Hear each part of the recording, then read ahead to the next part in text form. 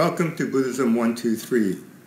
We will continue our introduction to Shin Buddhism, uh, which started about April 8th on our Wednesday evenings. Last week, we shared how Shin Buddhism really takes an optimistic view of life. And that's easy to understand why it is the largest school of Buddhism in Japan. After it becomes natural, Shin is a very easy practice. People have a feeling of joy. However, it is a practice. We must recognize what we have already received. So how do we recognize what we have received? We have suggested using this technique of saying the words thank you. The coin toss exercise that we did last time really showed us the difference of selecting what we have received as opposed to what we think we want. We make this crosswise shift. And to do that, we think of the words please and thank you, and we make that shift from please to thank you. And today we will talk about the process of how we make that shift. I talked about my grandmother, known as a devout Shin Buddhist, and how she naturally saw this shift and saw something positive in about everything she did. Reverend Seigen Yamaoka, who was formal bishop of the BCA, took what he called the six aspects of endowed Shinjin. And what he was talking about was that in the West, we need an educational process as an introduction to Shin Buddhism. Because in Japan, it's not needed, as it is many of the principles of Shin Buddhism are incorporated in the daily language and life and custom of Japan. I have learned something from my grandson Corey, who is almost five. I watch him, and I realize that what he learns from adults and his parents are what he does. But everything he does has taken steps. It's taken a process. It starts out with a very easy, concentrated step. If you think of everything you've learned, from playing a musical instrument, driving a car, playing a sport, it starts with a very concentrated first step. And that is what we're trying to do here on Nembutsu, Namo Amida Butsu. The first step needs to be practiced over and over again. Playing an instrument, you may have to think about the notes you're playing, where your fingers are, how to blow on an instrument or uh, play a piano or whatever. Eventually, with practice, this becomes natural.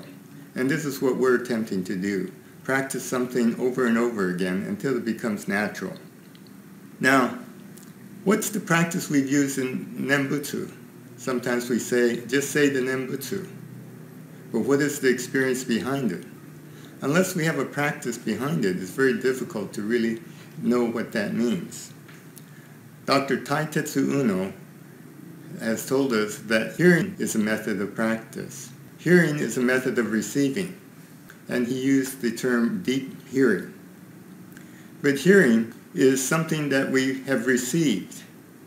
And so it is realizing that we receive things and that practice could be listening and realizing what we have already received. We can think about selective hearing. We husbands seem to have that. Sometimes we would hear the words, uh, clean the garage, and we might not hear that very much. But then in a car, our wife might say, wow, look at that woman with the short skirt. Suddenly we could hear that. So there's this process of seeing or hearing what we prefer to do. As an example, let me give you a story about a family of four walking down the neighborhood to the corner. Now, as they walk down this neighborhood, the father sees a broken rain gutter, and the mother sees decorations on the front doors. And the teenage boy happens to see a nice sports car in the driveway, and the little girl sees a kitten playing in the shrubbery. As they continue, the wife never sees the broken rain gutter, and the husband doesn't see the decorations on the door. The little girl doesn't see the sports car, and the boy doesn't see the kitten. Why is that? Selective seeing. We have a tendency to see what we are interested in. And so we have the words from Shinran, clouds and mists hide the sun, but beneath the clouds and mists there is lightness, not dark. What are we seeing? the clouds and mist of ignorance, or the lightness under the sun. I mentioned that my grandmother was able to see that lightness. If she would break a dish, my cousin would say she might exclaim, oh, broken dish, that's good for the potter. How can we do that? We can do that by a practice of slowly appreciating all the things we have instead of looking at the clouds and mist of all the things that might happen to us. This is our experience of Nembutsu. This is how we can practice.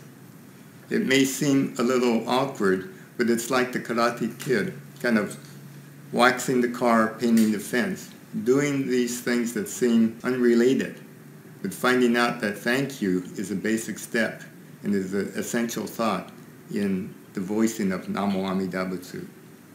So our process is to develop this selective seeing, and we already have it. If you're thinking about buying a car, let's say you're thinking about a, a blue Camry, all of a sudden you happen to see a lot of blue Camrys around. Did they just start to develop a lot more blue Camrys, or is it our selective seeing? So this is, again, artificial, almost uh, concentrated way of looking for things that we can express our gratitude. Thank you. So again, the first step, look for things in our daily life that we have taken for granted. Could be things like putting on the light switch, turning on the faucet. But just develop this habit of saying thank you. And I think you will see that your life lightens up. One practice that I advise uh, people to do, which we may not be able to do in this time of COVID pandemic where we're isolated in our homes, but the next time you're in a car and you come to a stoplight, rather than thinking about the dark clouds with the red light, say thank you. Because when we're saying thank you to the red light, it means that the green light is letting the cars in the opposite direction go.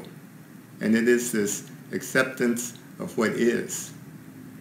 These are some of the ways we can shift our thoughts from please, I wish the light were green, to thank you, I appreciate that it's red, because now others can go and we can avoid an accident. So I recommend this for the next week, finding all the little things you can say thank you toward. And this shifts our hearts and minds toward a life of gratitude. As Shinran says, voice Amida's name and being mindful of the Buddha always, respond in gratitude to the great benevolence. So with that, please join me in expressing our deepest sense of gratitude with the Nembutsu. Gassho. Namo Amida Butsu. Namo Amida Butsu. Namo Amida Butsu.